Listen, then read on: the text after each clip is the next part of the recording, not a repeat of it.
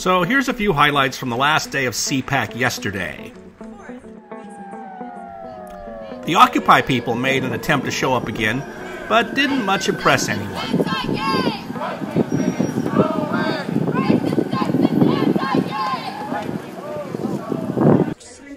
Big Government Gary and his sidekick Crony Capitalism were in the House. So was Rick Santorum, or at least a two dimensional version of him. Now, no one beats down on environmentalists like Irish filmmaker Ann McElhinney. Environmentalists say that they love, they, lo- they love windmills. They love windmills, but apparently they love the bald eagle too. Well, guess what? You can't have both. You can't have both. There are consequences to things. So your endangered species all over this country are getting killed by those windmills. Here's another thing about the environmentalists. They love those windmills, but guess what they don't like? They don't like copper mining. So they won't allow the copper mine up there in Alaska, the Pebble mine to open, yeah? But you know what? You can't have a windmill without copper.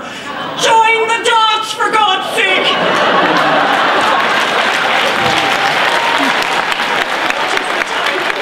Oh, right, okay, I can see the time now. I've got 10 seconds. And my office suite mate John Bolton sums up the case In admirably. eight years as president, Ronald Reagan brought us to the brink of victory in the Cold War, the 20th century's third world war.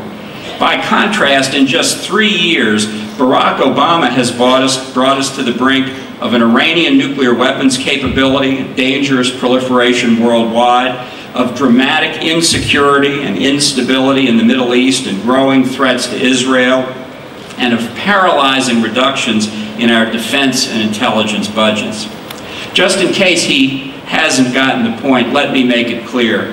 President Obama, you are no Ronald Reagan.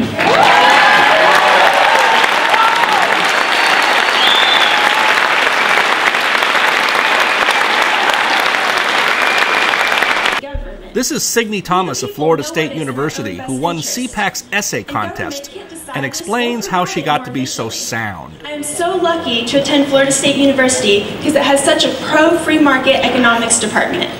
An entire econ class was based on Milton Friedman's Free to Choose TV and book series.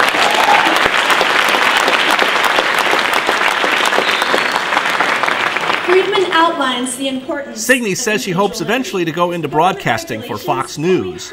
Somehow I have a hunch she's going to make it.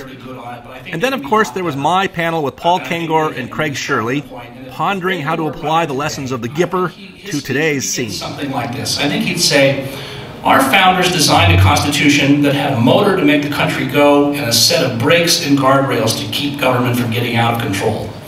In the last century, what liberals have done is torn out the brakes, ripped out the seatbelts, and pushed the pedal to the floor. And we're about to crash.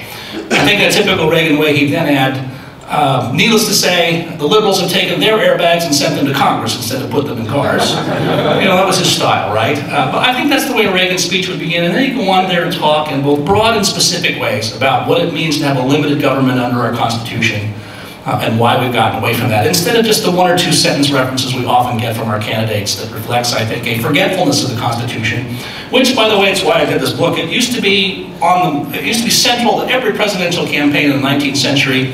And if you go back and read old inaugural addresses, most of their incoming presidents spent half or more of their inaugural addresses talking about the Constitution. The only modern president who did that at all in his inaugural address was Reagan in 1981. So we'll stop there and look forward to your questions and comments Now, this is why you write books, gang. You get chicks. These, in fact, are the publicists for my new book from Regnery. I'm sure hoping it's going to be a long marketing campaign.